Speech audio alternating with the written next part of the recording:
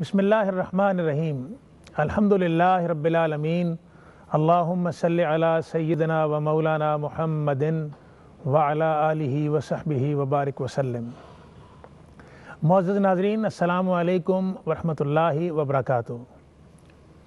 Programme ترتیل القرآن اور ناظرین، آپ یہ پروگرام ہر جمعۃ المبارک کو A R Y Q television کی طرف سے دیکھتے اور سنتے ہیں۔ اور میں ہوں آپ کا میزبان محمد افضل نوشاہی۔ ناظرین، آپ اس پروگرام کے حوالے سے آشنا ہیں، جانتے ہیں کہ اس پروگرام میں ہم قرآن کریم کو قرات کے ساتھ، ترتیل کے ساتھ سنتے ہیں۔ اور ہمارے پروگرام کی زینت ملک پاکستان کے، عالم اسلام کے نامور قرآ ہوتے ہیں۔ اور پھر جو تلاوت کلام پاک آپ سنتے ہیں، اس پر پھر ترجمہ اور تفسیر کے حوالے سے علماء ہمارے ساتھ ہوتے ہیں۔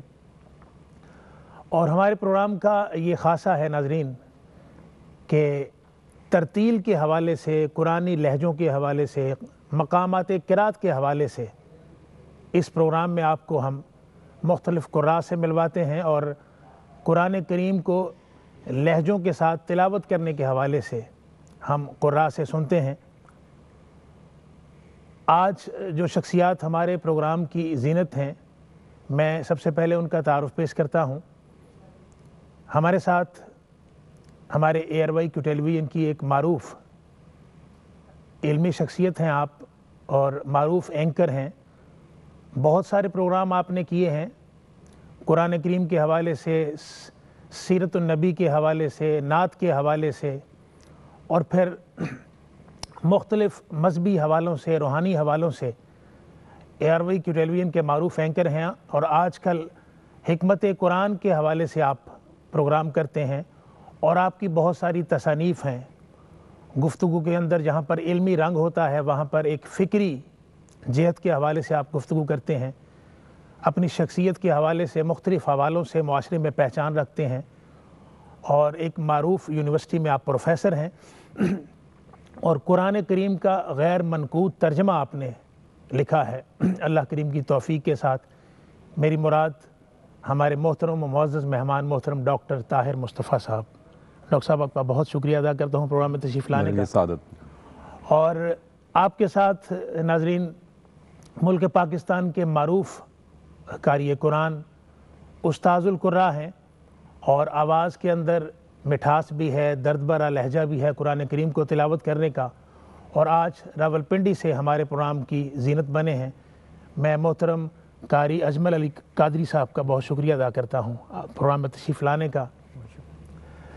ناظرین، پروگرام ترتیل القرآن میں میں ایک بات پر گفتگو سے آج کے پروگرام کا آغاز کرنا چاہتا ہوں کہ آج جدت کے حوالے سے ہماری نگاہیں، ہر جہت پر مرکوز ہو جاتی ہیں کہ ہمارے کردار کے اندر ہماری گفتار کے اندر، ہمارے استعمال کے اندر جدت ہونی چاہیے۔ اور اس جدت نے ہمارے معاشرے کو مختلف ڈائریکشنز دی ہیں۔ ایک بات جو بہر صورت عیاں ہے کہ صرف مادیت کے اندر ڈھل کر اگر جدت کو اڈاپٹ کیا جائے گا اور مذہب کو جدت سے دور رکھا جائے گا، روحانیت کو جدت سے دور رکھا جائے گا تو لا محالہ جدت کے اندر صرف مادیت ہی نظر آئے گی اور پھر وہ مادیت ہمیں بلا شبہ دین سے بھی دور لے جائے گی، مذہب سے بھی دور لے جائے گی اور روحانیت سے بھی دور لے کے جائے گی۔ میں نے یہ بات اس لیے کی، آج کل میڈیا کا دور ہے اور سوشل میڈیا کا دور ہے۔ بڑی دھوم دھام سے لوگ فیس بک کا استعمال کرتے ہیں، ٹویٹر کا استعمال کرتے ہیں، میڈیا پر مختلف پروگرامز دیکھتے ہیں۔ اور پھر وہاں سے جدت کے حوالے سے ڈائریکشن لیتے ہیں۔ میں ناظرین کیو ٹی وی کے حوالے سے بات نہیں کر رہا۔ آپ باقی جو چینلز ہیں ہمارے، جتنے جملہ چینلز ہیں، ان پر جو کوئی شخص آ کر کسی حوالے سے گفتگو کرتا ہے، وہ اگر مذہبی حوالے سے بھی گفتگو کرتا ہے تو اس کا اپنا ایک رنگ ڈھنگ ہے جدت کے اعتبار سے۔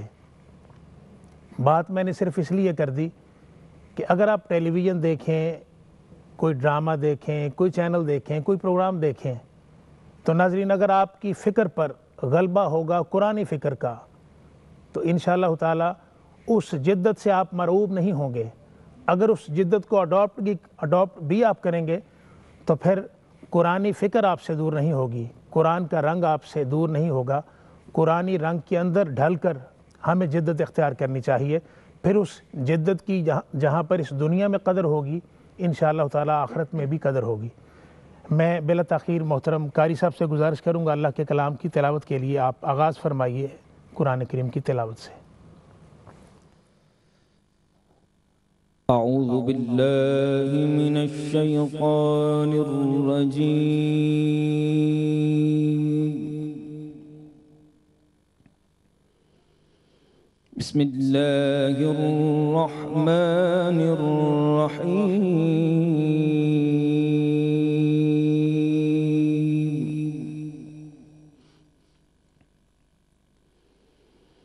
لله ما في السماوات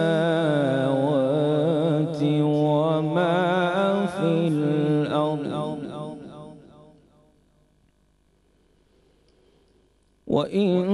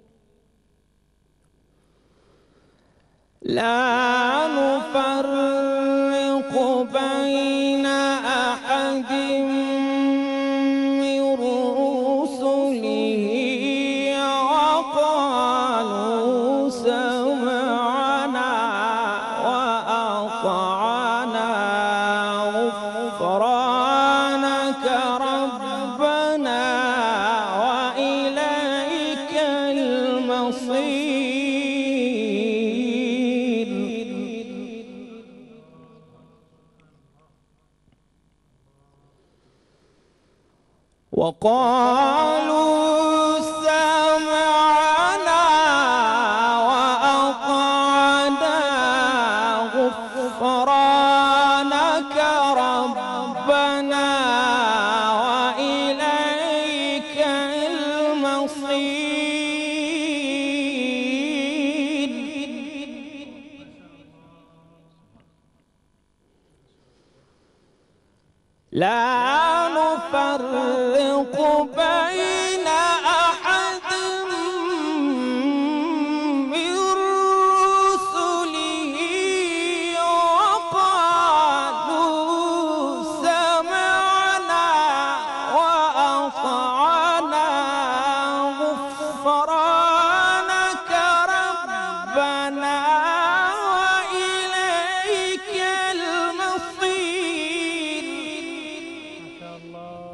شاء الله. وقالوا سمعنا وأطعنا غفرانك ربنا. غفرانك ربنا. غفرانك ربنا.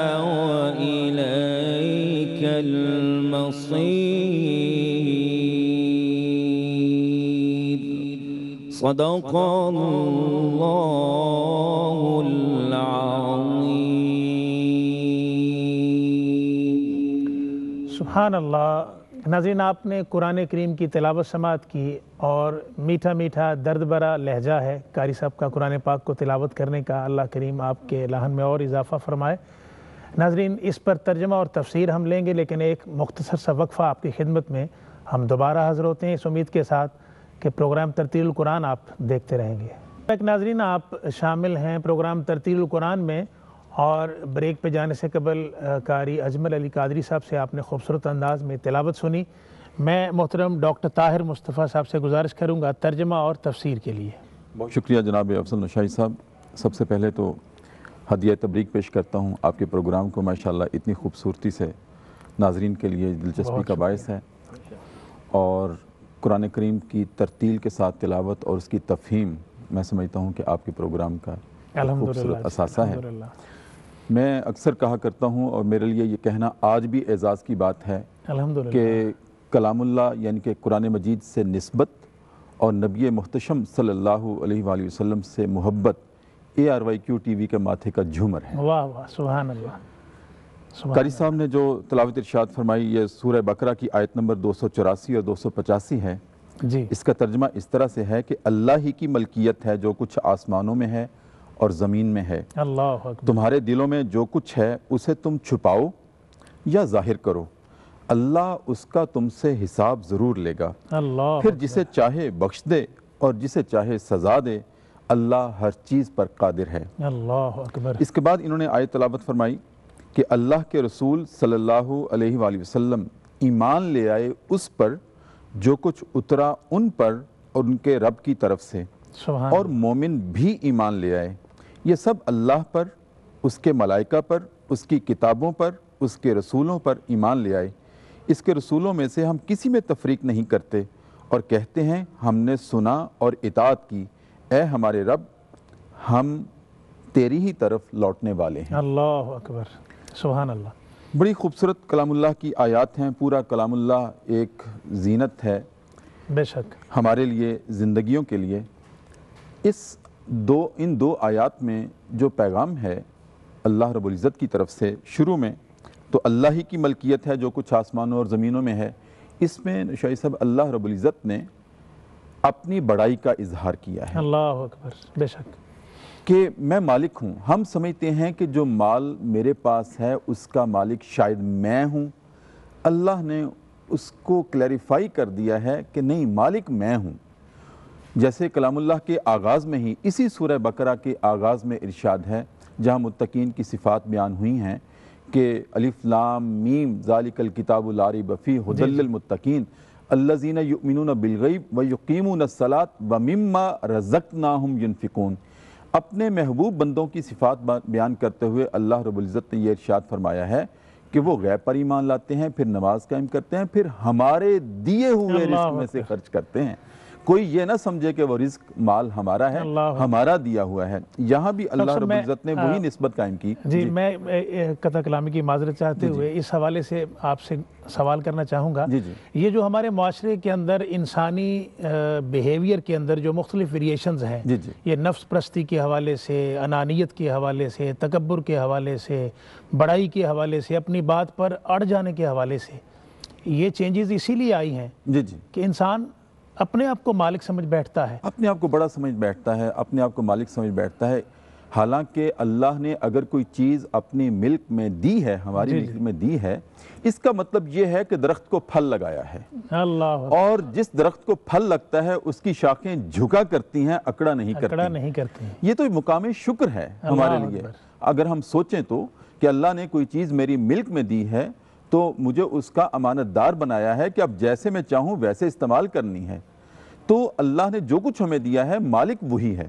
اور دوسری اس آیت میں جو بات بیان کی گئی ہے ارشاد فرمائی گئی ہے کہ اللہ حساب لے گا جو کچھ تم چھپاؤ یا جو کچھ ظاہر کرو۔ اللہ اکبر۔ ناظرین اکرام اور نشائی صاحب جب یہ آیت نازل ہوئی تو صحابہ اکرام ڈر گئے۔ اور نبی کریم صلی اللہ علیہ وآلہ وسلم کے پاس حاضر ہو کر کہنے لگے یا رسول اللہ صلی اللہ علیہ وسلم ہمارے دل میں تو بہت ساری ایسی باتیں آتی ہیں ان کا بھی حساب ہوگا۔ اللہ اکبر۔ تو نبی کریم صلی اللہ علیہ وسلم نے ارشاد فرمایا ہاں ہاں ہوگا ان کا بھی حساب ہوگا۔ اللہ رب العزت نے کلام اللہ میں اس آیت میں یہ واضح کر دیا ہے کہ یوم الآخرہ جو ہے وہ پوشیدہ باتوں کو ظاہر کرنے کے لیے ہی تو ہے۔ اللہ اکبر اللہ اکبر۔ دنیا میں ہم جو اعمال کرتے ہیں ہم سمجھتے ہیں میں نے پوشیدگی میں کیا۔ کسی جی۔ نے نہیں دیکھا۔ اللہ رب العزت کی عدالت میں جب کھڑے ہوں گے تو انسان کہے گا الہ العالمین میں نے تو یہ کام سات پردوں میں کیا تھا۔ اللہ اکبر آج کیسے ظاہر ہو گیا؟ تو اللہ رب العزت ارشاد فرمائیں گے اے میرے بندے تو تو مجھے اس وقت بھولا ہوا تھا ہم تجھے اس وقت بھی یاد رکھے ہوئے اللہ اکبر ناظرین آپ سن رہے ہیں قرآن پاک کی تفسیر کے حوالے سے گفتگو۔ میں اس بات کو اس اینگل سے ضرور کرنا چاہوں گا کہ دیکھیں ہمیں محاسبہ کرنا ہے اپنی سوچ کا اور ایک اپنے عمل کا۔ ہماری نگاہیں بعض کا اپنے عمل پر زیادہ ہوتی ہیں، لیکن جو چیز ہمارے اندر پوشیدہ ہے، اللہ نے اس کا بھی حساب لینا ہے۔ وہ فکر ہے، وہ سوچ ہے، اس کو قرآن کی فکر کے اندر ہم نے ڈھالنا ہے۔ بہت خوبصورت ڈاکٹر صاحب، آپ نے گفتگو فرمائی۔ میں محترم قاری صاحب سے گزارش کروں گا اللہ کے کلام کی تلاوت کے لیے۔ بسم اللہ کیجیے۔ أعوذ بالله من الشيطان الرجيم. بسم الله الرحمن الرحيم.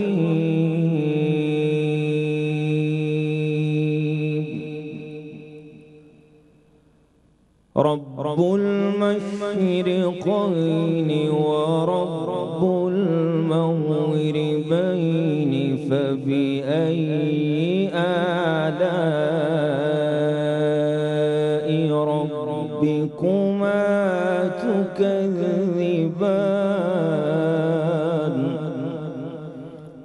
سبحان الله. مرج البحرين يلتقيان بينهما برزخ. الله الله الله. الله بينهما برزخ.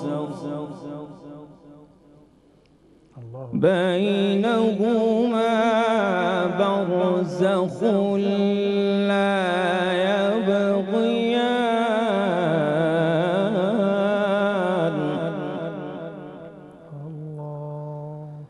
فبأي آلاء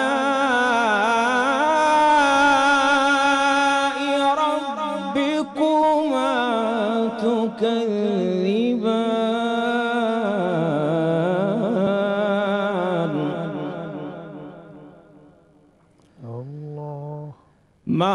مرج البحرين يلتقيان بينهما برزخ لا يبغيان. سبحان الله سبحان الله. جيد. فبأي آلاء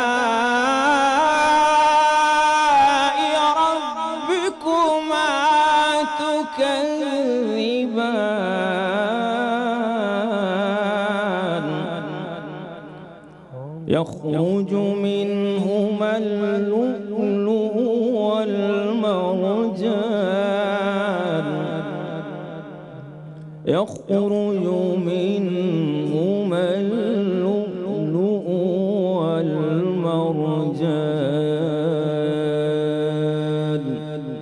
فبأي آلاء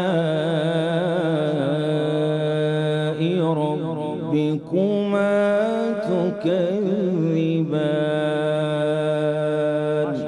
صدق الله العظيم. سبحان الله فبأي آلاء ربكما تكذبان. میں ترجمہ اور تفسیر کے لیے محترم ڈاکٹر صاحب سے گزارش کرتا ہوں۔ جی۔ ان آیات بینات کا ترجمہ اس طرح ہے۔ سورہ رحمان ہے آیت نمبر سترہ سے آنورڈ کاری صاحب نے جی۔ پچیس تک تلاوت کی کہ وہ اللہ رب ہے دو مشرقوں کا اور دو مغربوں کا۔ اللہ اکبر۔ تو اے جنوں انس تم اپنے رب کی کون کون سی نعمتوں کو جھٹلاؤ گے؟ اس نے دو دریا جاری کر دیے جو ایک دوسرے سے مل جاتے ہیں۔ ان دونوں میں ایک آڑ ہے کہ اس سے تجاوز نہیں کر سکتے۔ ناظرین آپ ترجمہ سن رہے ہیں اور یو کے میں اذان کا چونکہ وقفہ ہے، میں ایک بریک پہ جانا چاہتا ہوں۔ انشاءاللہ آپ کی خدمت میں ہم دوبارہ حاضر ہوتے ہیں۔ ہمارے ساتھ رہیے اور پروگرام ترتیل القرآن دیکھتے رہیے۔ آپ دیکھ رہے ہیں پروگرام ترتیل القرآن اور بریک پہ جانے سے قبل سورہ الرحمن کی تلاوت اور کچھ ترجمہ آپ نے سنا۔ میں ترجمہ کمپلیٹ کرنے کے حوالے سے اور پھر تفسیر کے حوالے سے محترم ڈاکٹر طاہر مصطفیٰ صاحب سے گزارش کرتا ہوں۔ جی نشاہ صاحب، میں ترجمہ پیش کر رہا تھا۔ ان آیات کا کہ اس نے دو دریا جاری کر دیے جو ایک دوسرے سے مل جاتے ہیں۔ اللہ ان دونوں میں ایک آڑ ہے کہ اس سے تجاوز نہیں کرتے۔ پس تم اپنے رب کی کون کون سی نعمتوں کو جھٹلاؤ گے؟ اللہ اکبر۔ ان دونوں میں سے موتی اور مونگے برآمد ہوتے ہیں یعنی کہ جواہرات برآمد ہوتے ہیں پھر تم اپنے رب کی کون کون سی نعمت کو جھٹلاؤ گے؟ یہ تو تھا ان آیات کا ترجمہ۔ جی۔ نشائی صاحب کلام اللہ کی یہ وہ صورت ہے کہ جو دلوں کے روح کے جو درد ہیں ان کو بھی نکال باہر کرتی ہے اس کی خصوصیت ویسے پورا کلام اللہ خوبصورت ہے سننے میں پڑھنے میں سماعت میں۔ اس کو عروس القرآن کہا جاتا ہے۔ کہا جاتا ہے کہ اس کو نہ بھی پڑھیں۔ جی۔ اس صورت کو صرف سنے ہی آنکھیں بند کر کے۔ تو آنسو جاری ہو جاتے ہیں۔ روح پاکیزہ ہو جاتی ہے درد دور ہو جاتے ہیں اور اس صورت کو تو قرآن تھراپی کے طور پر استعمال کیا جاتا اچھا جی۔ قرآن تھراپی کے طور یہ آج ایک نئی ٹرم میں نے جی۔ ڈاکٹر صاحب سے سنی۔ قرآن تھراپی ہاں جی۔ قرآن تھراپی جی۔ کہ اگر جسم و روح میں دردیں ہوں پریشانیاں لاحق ہوں آنکھیں بند کر کے سورہ رحمان کو سنیں آپ کی تمام روحانی اور جسمانی آلودگیاں دور ہو جائیں گی۔ ڈاکٹر صاحب کتنی خوبصورت بات ہے کہ نعمتوں کا مالک تو رب ہے جی۔ اللہ ہے۔ جی۔ اور جب ہم یعنی وہی بات جو آپ نے پہلے ہمارے جی۔ سیگمنٹ میں فرمائی کہ جب ہم ملکیت کا دعویٰ کرتے ہیں تو پریشانی تب ہی آتی ہے۔ ملکل تب ہی آتی ہے۔ سوچ تب ہی آتی ہے۔ تو اللہ جی۔ رب العزت ساتھ ساتھ وہ تطہیر کیا جاتے ہیں۔ اور فبی ای آلائی ربکما تکذبان۔ نشائی صاحب یہ اکتیس مرتبہ اس صورت میں اللہ رب العزت نے ریپیٹیشن کے ساتھ تقرار کے ساتھ یہ ارشاد فرمایا ہے۔ کیوں کہا ہے ایسے کہ ترغیب شکر دی ہے کہ میری نعمتوں کا شکر ادا کرنا نہ بھولنا۔ اللہ اکبر۔ میں نے دی تو ہیں ان کو لے کر نہ بیٹھ جانا ان کو استعمال کرتے ہوئے ان کو اپنے استفادے کا باعث بناتے ہوئے ساتھ ساتھ میرا شکر بھی ادا کرنا ہے۔ اور شکر صرف زبان سے نہیں اللہ اکبر۔ اصل شکر وہ ہوتا ہے کہ جن کو اللہ رب العزت نے ان نعمتوں سے محروم رکھا ہے ان کے ساتھ شیئر کرنا۔ واہ واہ ان کو اپنے ساتھ شریک کرنا۔ بہت شاندار جہت ہے ان کو اپنے ساتھ شریک کرنا۔ اصل شکر یہ ہوا کرتا ہے۔ کیا کہنے سبحان اور یہاں پر اللہ رب العزت نے ارشاد فرمایا کہ وہ اللہ رب ہے دو مشرقوں کا اور دو مغربوں کا۔ مغربوں کا۔ نوجوان نسل ہماری آج سوال کرتی ہے مشرق و مغرب تو ایک ہیں۔ اللہ رب العزت نے یہاں یہ ارشاد کیوں فرمایا؟ اس میں کیا حکمت ہے؟ کہ دو مشرقوں کا رب دو مغربوں کا رب ہے۔ تو اس کا جواب یہ ہے نشائی صاحب کہ دیکھیے گا سورج مشرق سے طلوع ہوتا ہے مغرب میں غروب ہوتا ہے۔ لیکن سردی میں سورج نکلنے کا مقام مشرق سے اور ہوتا ہے گرمی کے موسم میں اور ہوتا ہے۔ تو دو مشرق بن گئے دو مغرب بن گئے۔ گرمی میں جی، جی۔ سورج اور جگہ غروب ہوتا ہے اور اور جگہ دوسری جگہ پر جی، سردی میں غروب ہوتا ہے۔ تو گرمی اور سردی کے موسموں میں دو مشرق ہیں دو مغرب ہیں جہاں سے سورج طلوع یہ مشاہدہ کر لیا جائے۔ یہ حقیقت ہے۔ اچھا ویسے بھی دن اور رات کے آنے جانے میں ہم ریفرنس بھی سورج کو ہی بناتے ہیں۔ سورج کو بناتے ہیں۔ تو اس لیے اللہ رب العزت نے اس حقیقت کو آشکار کیا ہے کہ دیکھو گرمی اور سردی کے موسم میں مشرق اور مغربی بدل جاتے ہیں میں ان دونوں کا رب ہوں۔ اور ڈاکٹر صاحب ایک بات میرے ذہن میں یہ آ رہی جی۔ ہے کہ یہ جو سورج ہے جی، جی۔ یہ اتنا بڑا پلینٹ ہے کہ سائنس اس کے بارے میں یہ کہتی ہے کہ کئی پلینٹ جو ہیں اس کے اندر سما اس کے اندر سما سکتے ہیں۔ جی بالکل اور پھر جب اس کا ایک مقام ہے پھر دوسرا مقام ہے تو آپ یہ اس لا متناہی ڈسٹنس کا اندازہ کر لیں۔ جی۔ پھر وہاں سے اللہ رب العزت کی ربوبیت کا اندازہ ہوتا ہے سبحان اللہ۔ اور یہ بھی بڑی قابل غور بات ہے کہ اللہ رب العزت نے اس سورج کو آگ کے گولے کو پیدا کیوں کیا؟ اللہ اکبر۔ یہ انسانی بقا کے لیے ضروری تھا۔ تین چیزیں انسانی بقا کے لیے ضروری ہیں۔ خوراک اور ہوا سانس لینے کے لیے اور زندہ رہنے کے لیے سوٹیبل ٹمپریچر درجہ حرارت۔ تو اللہ رب العزت نے سورج کو نہ صرف تخلیق کیا تخلیق کر کے اس مقام پہ فکس کر دیا جو انسان کو ضرورت تھی۔ اگر سورج ذرا سا بھی نیچے آ جائے انسان جھلس کے مر جائیں۔ اور سورج ذرا سا اوپر چلا جائے سردی سے ٹھٹر کر مر جائیں۔ اللہ نے اس کو ہماری زندگی کے لیے اس کو ہماری اطاعت میں لگا دیا اور انسان کو کہہ دیا کہ تو میری اطاعت میں آ جا۔ اللہ اور پھر فرمایا کہ کہ تو میری کن کن نعمتوں کو جھٹلائے گا انسان۔ یہ بات کتنی خوبصورت ہے کہ انسانی زندگی کی بلکہ ہر جاندار زندگی کی بقا جو ہے وہ جو سورج کی پوزیشن ہے اس پر ڈیپینڈ کرتی ہے۔ وہ ذرا سی بھی چینج ہو جائے وہ ذرا قرب میں آ جائے تو جھلس جائے گی دنیا وہ ذرا دوری میں چلا جائے تو پھر ٹھٹر جائے گی۔ ٹھٹر ٹھٹر کر مر جائے گی دنیا۔ یہ اللہ پاک کی قدرت ہے۔ اللہ کریم ہمیں توفیق عطا فرمائے کہ اس کی قدرت قدرتوں کو ہم سمجھیں اور اس کے مطابق اپنی زندگی کو ڈھالیں اور اس کی نعمتوں کا شکر ادا کریں اس کی نعمتوں کو شیئر کریں دوسرے اپنے بھائیوں کے ساتھ مسلمان بھائیوں کے ساتھ۔ محترم قاری اجمل علی قادری صاحب آپ تلاوت کلام پاک فرمائیے۔ من اعوذ باللہ من الشیطان الرجیم۔ بسم الله الرحمن الرحيم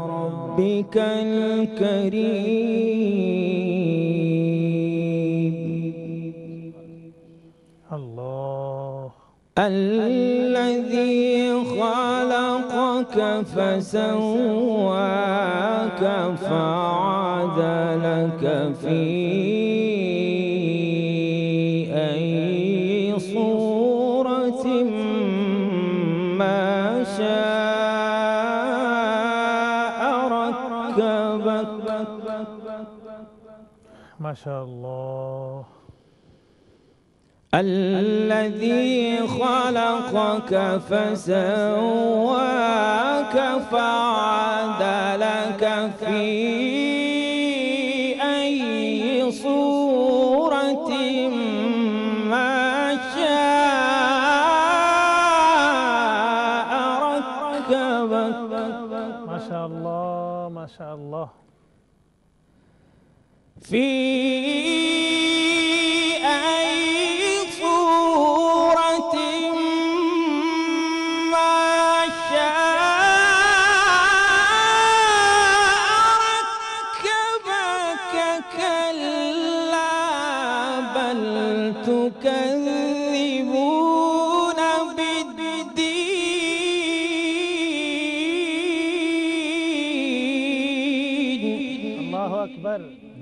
أحسن يا شيخ. سبحان الله. وإن عليكم لحافظين كراما. ما شاء الله ما شاء الله. وإن عليكم لحافظين كراما.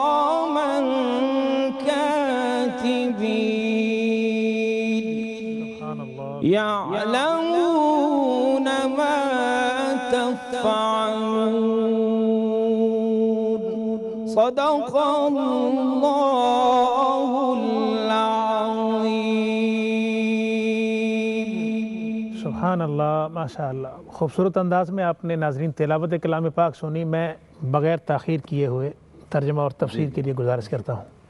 یہ نشائی صاحب سورہ الانفطار۔ کی آیات ہیں جو قاری صاحب نے ماشاءاللہ بہت خوبصورتی سے تلاوت فرمائیں اس میں پیغام یہ ہے کہ اے انسان تجھے کس بات نے اپنے رب کریم کے بارے میں۔ دھوکے میں ڈال رکھا ہے؟ اللہ اللہ اللہ اکبر۔ جس نے تجھے پیدا کیا پھر تجھ کو ٹھیک ٹھاک کیا پھر درست اور برابر کیا۔ جس صورت میں چاہا تجھ کو جوڑ دیا۔ ہرگز نہیں بلکہ تم تو جزا اور سزا کے دن کو جھٹلاتے ہو۔ یقیناً تم پر نگران نگہبان مقرر ہیں جو عزت والے ہیں لکھنے والے ہیں جو کچھ تم کرتے ہو وہ جانتے ہیں۔ بڑا اہم پیغام ہے یہاں پر۔ اللہ اکبر۔ ایک تو یہ کہ یا ایوہ الانسان ما غرک بربک الکریم کہ اے انسان تجھے کس بات نے اپنے رب کے بارے میں دھوکے میں ڈال رکھا ہے؟ تو کیوں بھولا ہوا ہے؟ تو کبھی اپنی تخلیق پر غور تو کر۔ ہم نے تجھے کتنا خوبصورت پیدا کیا ہے۔ اللہ اللہ رب العزت نے انسان کو اپنی بے شمار لامحدودات لامحدود تخلیقات میں سے اپنی شاہکار تخلیق قرار دیا ہے انسان کو۔ سبحان اللہ سبحان اللہ۔ انکاؤنٹیبل احسن تکوین۔ آسانی تکمیل سبحان اللہ۔ شاہکار تخلیق ماسٹر پیس ہم جس کو کہتے ہیں نا۔ جی جی۔ وہ ہے انسان۔ حالانکہ سورج ہے چاند ہے ستارے ہیں کتنی سورج میں طاقت ہے پانیوں میں کتنی لہریں ہیں اور تلاتم ہیں پانیوں میں۔ جی جی جی اور زمین پر کتنی وسعت ہے خلاؤں میں کتنی وسعت ہے لیکن ان سب میں اللہ رب العزت نے انسان کے بارے میں کہا کہ یہ میری لقد خلقنا الانسان فی احسن تقویم تقویم۔ یہ میری شاہکار تخلیق ہے۔ لیکن پھر اس کو جھنجھوڑا ہے کہ۔ تخلیق تجھے میں نے کیا تو اپنے خالق کو بھولا ہوا ہے۔ ایک کتنا شکوہ ہے اللہ رب العزت کا کہ کس بات نے تجھے دھوکے میں ڈال رکھا ہے وہی ربط ہے آیات کا جو پہلے تلاوت ہوئی کہ مال پر فخر کرتا ہے جمال پر فخر کرتا ہے کمال پر فخر کرتا ہے یہ تو برف ہیں۔ جی یہ تو پگھلتے جا رہے ہیں۔ تجھے کس بات میں بات نے دھوکے میں ڈال رکھا ہے؟ اب نہ تمہارے مال کام آئے گا وہ برف ہے پگھل رہا ہے۔ نہ جمال کام آئے گا۔ جوانی میں جمال ہے بڑھاپے میں کہاں جمال؟ اللہ اللہ اکبر۔ اس وقت تمہارے تمہارے ہاتھ میں کوئی اختیار ہوگا؟ جب تم بوڑھا ہو جائے گا جب تمہاری کمر میں خم آ جائے گا پھر تو اتنا بھی اختیار نہیں ہوگا کہ سیدھا ہو کے کھڑا ہو جائے۔ اتنا بھی اختیار نہیں اچھا ہوگا۔ ڈاکٹر صاحب یعنی پھر کس بات نے دھوکے میں جی، ڈال جی، جی، رکھا ہے؟ ہمارے معاشرے کے اندر جتنی یہ خرابیاں نظر آتی ہیں جی۔ یہ ساری بات تو پھر یہاں پر آ کر ختم ہو جاتی ہے تکبر ہے بس۔ جی۔ تو یعنی اللہ نے اسی کو تکبر کو توڑنا چاہا ہے اور جھنجھوڑنا چاہا ہے جی جی۔ کہ دیکھ تو صحیح کہ تجھے کس بات نے اپنے آپ میں تکبر میں ڈال رکھا ہے تم اپنی تخلیق پہ غور کر کہ کس طرح ہم نے تمہارے ایک قطرے سے جو حقیر قطرہ تھا اس کو ہم نے تمہارے ماں کے پیٹ کی اندھیر گھاٹیوں میں پیدا کیا لیکن خوبصورت ترین پیدا کیا۔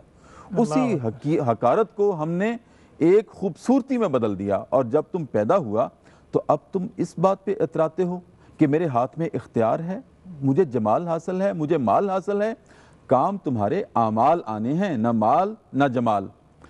اب اس بات پہ غور کرنے کے لیے یعنی کیا ہم جی۔ اس اینگل پر بھی جا سکتے ہیں کہ انسان کی ایک جو ظاہری خوبصورتی ہے وہ اپنی جگہ پر جو اللہ کریم نے اسے عطا فرمائی احسن تکوین کی صورت میں۔ ان اکرمکم عند اللہ اتقاکم۔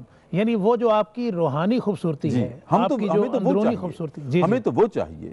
آپ جائیے نا بلال رضی اللہ تعالیٰ عنہ کی طرف جب اعتراض اٹھا تھا کہ اس کالے کلوٹے کے علاوہ بڑے بڑے موٹے ہونٹ ہیں نبی کریم صلی اللہ علیہ وسلم کو کوئی اور شخص نہیں ملا جو اذان دے سکے۔ تو آپ نے بھی اس کو ایشو نہیں بنایا۔ نبی کریم نے کہا یعنی یہاں سے کوئی اور اذان دے دیں۔ یہاں سے ڈاکٹر صاحب ہمیں یہ یہ سمجھنا چاہیے کہ اللہ کے نزدیک خوبصورتی کا جو کرائٹیریا ہے وہ جی۔ کچھ اور ہے۔ وہ کچھ اور ہے۔ ورنہ انسان اگر صرف اپنے آپ کو خوبصورت سمجھے یا کسی کو خوبصورت وہ جو پیمانے انسان نے مقرر کیے ہوئے ہیں تو انسان یہ سمندر میں چھوٹی چھوٹی مچھلیوں کو دیکھ لے پھولوں کو دیکھ لے درختوں کو دیکھ لے ان کا جب حسن دیکھتا ہے خود اپنے طور پر جی، جی۔ اور وہ جو کرائٹیریا اس نے اپنے ذہن میں رکھا ہوا ہے تو اسے اپنے حسن پر بہت سارے سوالات پیدا ہوتے نظر آتے ہیں۔ جیسے حضرت بلال کے بارے میں جی، جی۔ لیکن وہ جو آپ نے اندرونی خوبصورتی کی بات کی وہی نا اندرونی خوبصورتی کی بات حضرت بلال رضی اللہ تعالیٰ کو جب اعتراض کیا تو نبی کریم نے کہا کوئی اور اذان دے دے یہ کیا بات ہوئی تو اگلے دن رات کو صحابہ سوئے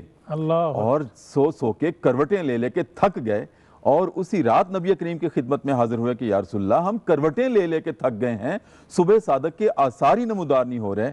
تو آیت نازل ہو گئی۔ ان اکرمکم عند اللہ اتقاکم کہ اے میرے نبی آپ نے جو بلال کو منع کر رکھا ہے اذان سے ہم ہم نے نظام کائنات کو روک دیا ہے۔ جب تک آپ بلال کو نہیں کہیں گے ہم صبح کے آثاری نمودار نہیں کریں گے۔ تو کیا مطلب ہوا کہ اللہ کو وہ ظاہری خوبصورتیاں پسند نہیں ہیں اندر کی خوبصورتیاں پسند ہیں جس میں پاکیزگی تقوی اور طہارت ہونی چاہیے۔ اللہ اکبر اللہ اور پھر انسان دیکھے تو صحیح کہ اگر اپنے آپ پہ غور کرے تو شاہکار تخلیق اللہ نے ثابت کیا ہے۔ پوری کائنات کے نمونے ایک پانچ چھ فٹ کے انسان کے جسم کے اندر اللہ نے رکھ ہیں۔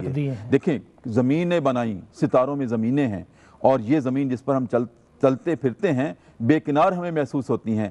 اس کا اوریجنل اوریجن کیا ہے؟ مٹی۔ انسان کی تخلیقی مٹی سے ہوئی۔ دیکھیں جب گرمی کے موسم ہم ایسے رگڑتے ہیں جی، تو جی، کیا جھڑتا ہے؟ مٹی ہی تو جھڑتی ہے۔ پھر پانی جس کے بغیر ہم زندہ نہیں رہ سکتے وہ پانیوں کے نمونے بھی اس میں رکھ دیے۔ بے شک۔ پاکیزہ پانی میٹھے پانی لعاب دہن میٹھا ہے۔ نمکین پانی بھی سمندر کا پانی نمکین ہے آنسو نمکین ہوتے ہیں۔ اللہ۔ اور اسی زمین میں اور ناپاک پانی انسان کے جسم کے اندر پیشاب جی۔ کی صرف ناپاک پانی بھی ہیں۔ موسم دیکھیں اللہ نے گرمی اور سردی کے موسم وہ بھی اس انسان کے اندر رکھ دیے۔ کیسے؟ ہاتھ کی اس اوپر تلوے کے اوپر ہم گھی کو رکھیں ایڈ نہیں آتی ٹیلی ویژن میں آپ دیکھتے ہیں وہ پگھل جاتا ہے۔ اس۔ کے اندر گرمی بھی ہے۔ گرمی بھی ہے۔ اس کے اندر سردی بھی ہے۔ بعض اوقات ہم کہتے ہیں انسان ٹھنڈا ہو گیا جیسے گرمی اور سردی میں بہت سردی کا موسم آ گیا بہت گرمی کا آ گیا وہ بھی رکھ دیے۔ پھر اللہ نے پہاڑ بنائے۔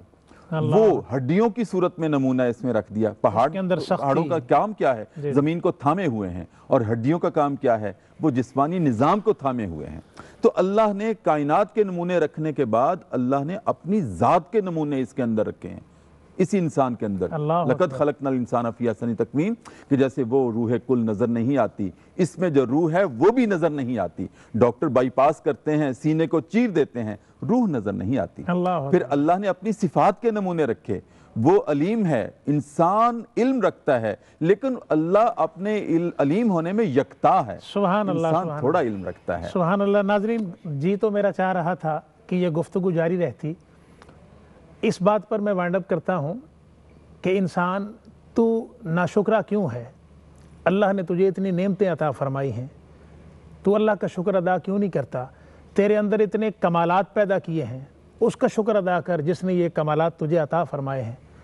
بس، اس بات کے حوالے سے ناظرین، ہمیں سوچنا ہے کہ اللہ کی جو مشیت ہے، اللہ کا جو ارادہ ہے، اور قرآنی فکر کی صورت میں، قرآن کی شکل میں ہمیں اپنی زندگیوں کو اس میں ڈھالنا ہے۔ میں ان اشعار پر آج کے پروگرام کو اختتام کرنا چاہتا ہوں کہ اس سے پہلے کہ یہ دنیا مجھے رسوا کر دے، تو میرے جسم، میری روح کو اچھا کر دے۔ یہ حالت اپنی جو میں نے خود بنائی ہے مگر، یہ حالت اپنی جو میں نے خود بنائی ہے مگر، جیسا تو چاہتا ہے، اب مجھے ویسا کر دے۔ میرے ہر فیصلے میں تیری رضا ہو شامل، جو تیرا حکم ہو، وہ میرا ارادہ کر دے۔ اللہ کریم ہمیں توفیق عطا فرمائے کہ ہم اپنی فکر کو، اپنی سوچوں کو، اپنے اعمال کو قرآنی فکر کے اندر ڈھال لیں۔ ناظرین، پروگرام ترتیل القرآن کا وقت اپنے ختام کو پہنچتا ہے۔ میں مہمانوں کا بار دیگر بہت شکریہ ادا کرتا ہوں، محترم ڈاکٹر طاہر مصطفیٰ صاحب کا، قاری اجمل علی علی قادری صاحب کا۔ اور اس امید کے ساتھ کہ ہم انشاءاللہ تعالی قرآنی فکر پر عمل کرنے والے بن جائیں گے۔ اللہ پاک کی توفیق کے ساتھ انشاءاللہ تعالی اگلے جمعۃ المبارک کو آپ کی خدمت میں میں دوبارہ حاضر ہوں گا۔ مجھے اجازت دیجیے والسلام علیکم ورحمۃ اللہ وبرکاتہ۔